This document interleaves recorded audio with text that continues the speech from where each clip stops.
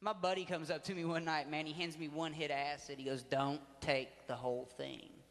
I'm going, Fuck, whatever. It's one hit, right? I eat that whole hit, man. About 30 minutes later, dude, my world's ending. I'm in my bedroom laying on my fucking stomach, you know, holding the rail of my bed, thinking I'm shipwrecked in the middle of the ocean and shit. I'm fucked up, man. My dad walks in about this time.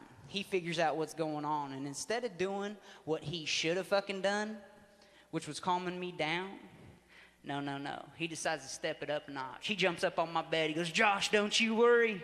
We're going to make it through this. If I die first, you can eat me to stay alive. I'm going, oh, fuck. I'm going to die.